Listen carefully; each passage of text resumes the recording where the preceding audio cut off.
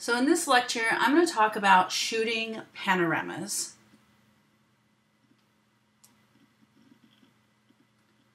Alright, so first of all, let's look at some panoramas. So we're going to start off with a couple from around Fresno. And um, so panoramas are photos of a place when you don't have a wide enough view on your camera to capture everything that's going on. So instead you take multiple photos and stitch them all together.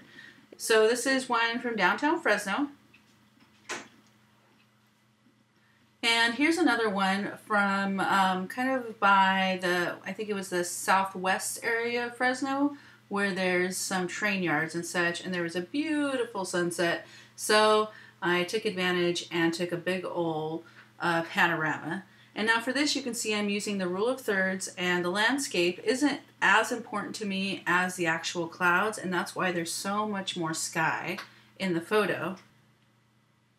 Um, here's an, on top of the circular parking structure in downtown, and again, we have some fun elements down here, but I'm really concentrating on the sky, and so the sky is taking up most of the photo.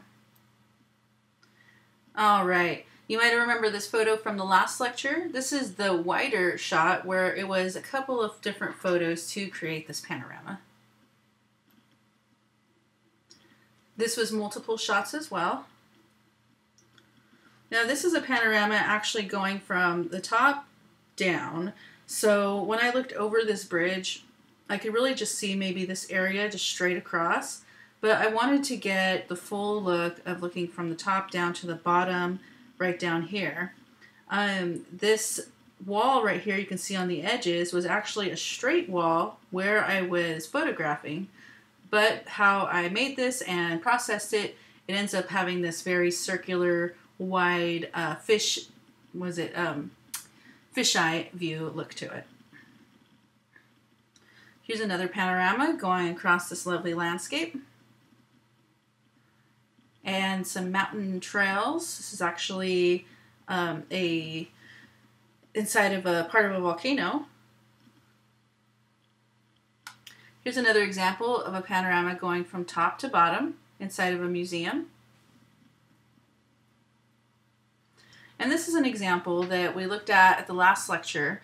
And this was actually a panorama going um, from the side and it's uh, double stacked. So I took nine shots going across here, and then nine shots going across up here to stitch it all together.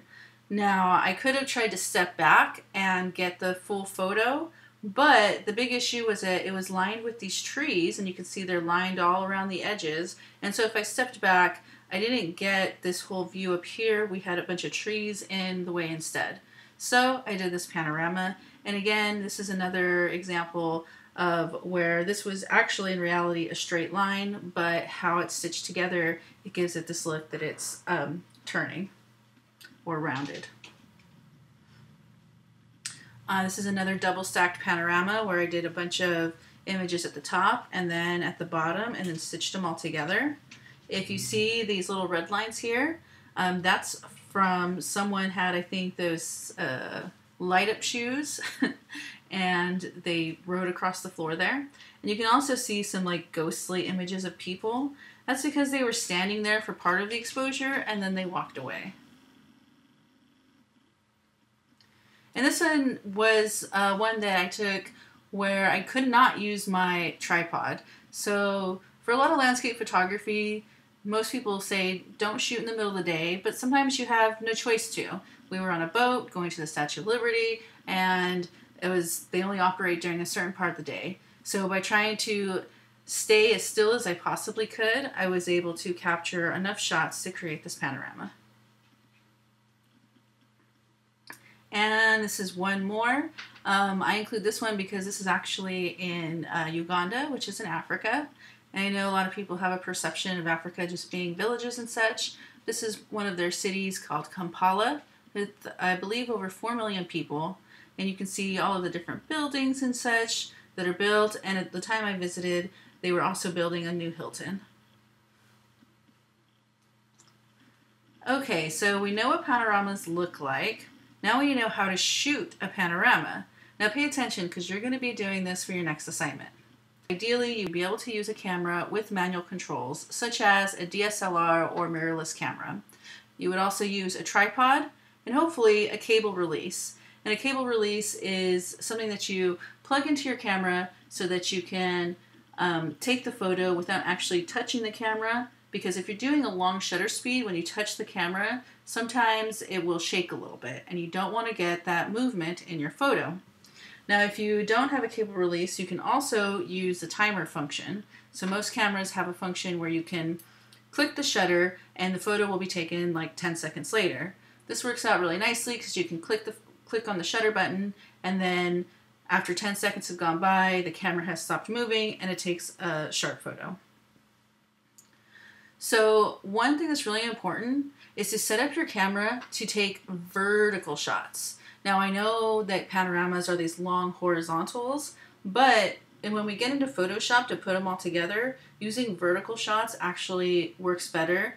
Uh, if you remember from our practice uh, practice run, when we put a panorama together in Photoshop, there was those edges, the corners that we ended up cropping out.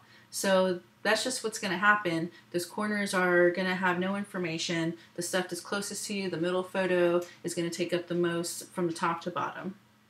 So usually you want to switch to a manual mode and use a small aperture so you have a deep depth of field. We've talked about this in the landscape photography section already. And you want to um, set your aperture and your ISO. And usually I keep my ISO between 100 and 400. Then I adjust my shutter speed for a good exposure. So ISO first set between 100 and 400. I set my aperture Usually, you know, if it's landscape or cityscapes, I try to use a smaller aperture, such as f11, f16, f22, and then I use my shutter speed to add in as much light as possible for good exposure. Next, I switch to manual focus, and that's because if you're shooting with autofocus, um, each time you shoot your photo, the next photo, the autofocus might try to refocus on something else. So I find the closest thing that's in my image that I want to be in focus. I focus my camera on that, and then I leave the focus alone and don't change the focus. Next, I'm going to swivel my camera to the edge of where you want your panorama to start. A very important thing to do is to overlap your shots by one third. So you're going to take the first photo, swivel your camera so you have a third of the photo in the second shot, and repeat until you reach the end of the view you were shooting. And for your assignment, you do need to have at least five photos for your panorama. So let's take a step back, and I am going to show you exactly what I mean um, what, by swiveling your camera and such. So here I have my camera, here I have my tripod. Um, there's different types of tripods that work different ways. This specific specific tripod has flip locks, so when you flip it, you can move the legs up and down. Some of them are twist locks, where you actually twist the legs around to unlock them and then retwist them to lock them up again. So this one is flip, and tripods. Uh, some of them have these plates that come off. They're called quick release plates some of them you just attach it straight up to the top. So with a quick release plate, you can see there's like a little screw in here. And at the bottom of cameras, there's a little screw hole right there. So I'm going to take my quick release plate and screw it in here. And usually I try to get it pretty tight and then I move it so it's nice and straight and then go ahead and tighten it. Now, if you have a hard time tightening these things, sometimes I do, sometimes my hands are kind of funky. Um, there's usually like this little area right down here where you can slip a quarter in and give it a nice quick uh, tightening. So after that, I'm going to place it on my tripod. Let's move it over. And let me screw, move this over. There's a place to tighten the quick plate down right here.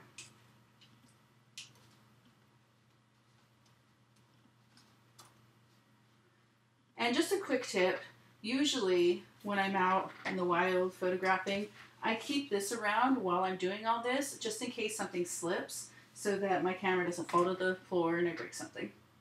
All right, so now that we have that done, I am going to switch to a vertical position. Right now my camera is a horizontal position, and I want to switch to vertical for my panorama. All right, so now that I'm at a vertical position, this is where I would actually go ahead and decide. And I, I didn't tighten down this other area that keeps it easy to move it back and forth. So at this point, this is where you decide where you're going to start your panorama. You look through, you take your photo, and then you swivel a little bit, overlapping by a third each time. I'm going to show you on screen what I mean. And then you take another photo, swivel again, take another photo, swivel again, take another photo. You are not moving your tripod, you are just moving your camera. That's really important. So, if you don't have all this, um, or if you're not shooting with a tripod, well, let's just go with not shooting with a tripod first. So, if you remember from the landscape lecture and the cityscape at night lecture, sometimes we can't use a tripod or we don't have a tripod.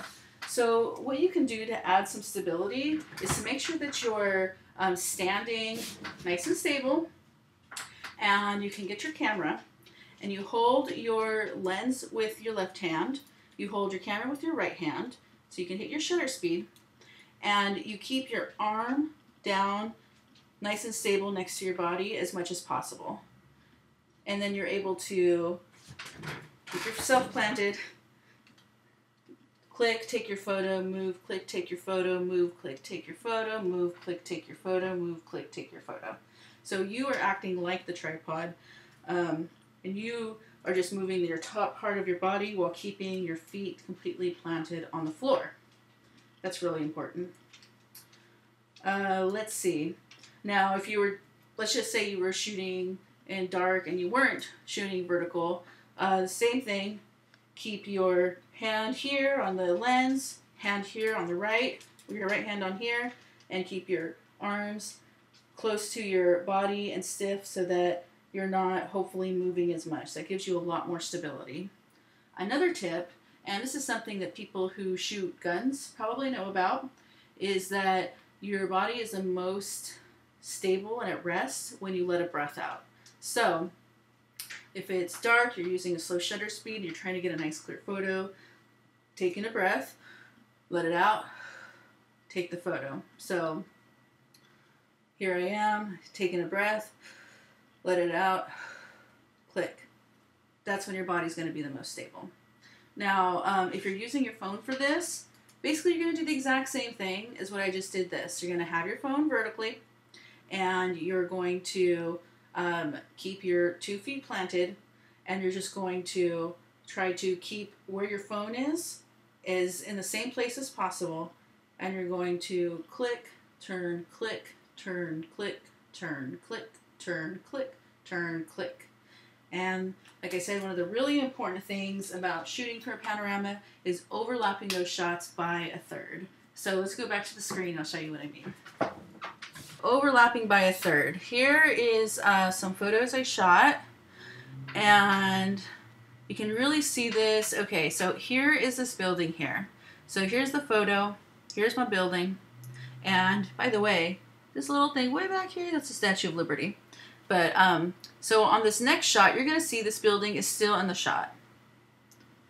And so I'm overlapping by that third. What was over here, about a third in, I'm going to keep, and it's going to be on the side of my next photo. And there it is. This is actually probably overlapping by 40%. Overlapping by more is safer than overlapping by less. So same thing here. We have, let's look at this building here and in the next photo. And there it is right there. Okay, here's another building. That's the one tower. And there it is there. That's what I mean by overlapping by a third. Whatever was in your photo, um, on let's say if you're going from left to right, whatever's on your photo on the right hand side should be part of the left side of the next photo. And so there's this constant overlapping happening. So when you get it into Photoshop, Photoshop can see exactly where the overlap is happening and it makes it a lot easier to bring it all together. So um, that's it on shooting the panorama.